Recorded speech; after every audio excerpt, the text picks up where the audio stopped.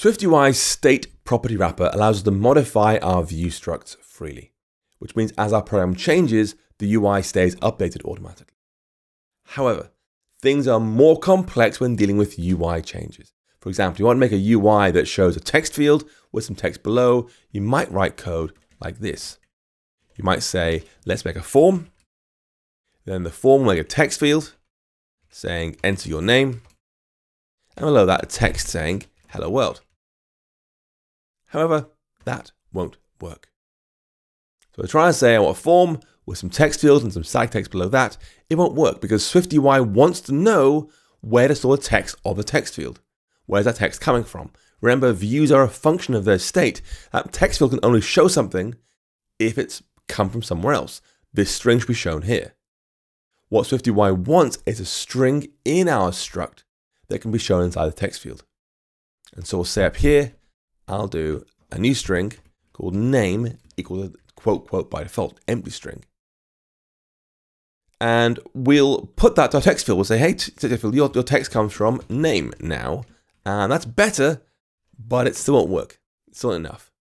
Because SwiftUI wants to be able to make sure this uh, information goes uh, in, a, in, a, modifiable way. It's a text field after all. They can type into there and should update the string somehow.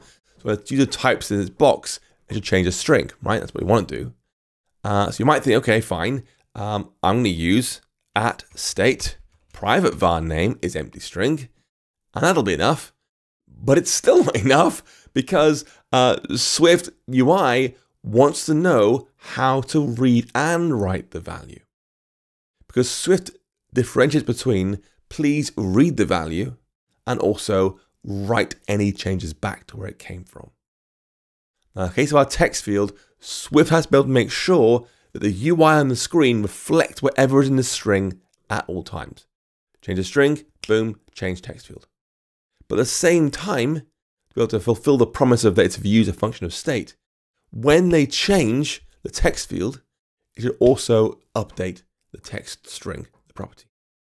This is what's called a two-way binding. We bind the text field so it shows the value of our property, but also update the property whenever they type into it correctly. In SwiftUI, we mark these with a dollar sign before our variable name, like this. We just say dollar name. This tells Swift should read and write the value automatically. So it changes, update the string. String changes, update the UI. And now try running the code. Again, press Command R. We should see, enter your name. I'll write here, Paul, looking good. As expecting, it's working correctly. But before we're done, we're going to modify this text field so it shows that name string inside there. So rather than saying hello world, we'll just say your name is string interpolation name. I'll press Command R again, and I'll write in here P A U L, and you can see it's updating as I type. Now notice how I wrote name here, not dollar sign name. Just writing name means I want to read the value, put the name from the string into here with string interpolation. Dollar sign name means I want a two-way binding. I want to show the name here, but I'll write the value back into that string when I type into this box here. So when you see one of these dollar signs before one of your variable names in a form and similar, it means making a two-way binding. The value is read, but also written back.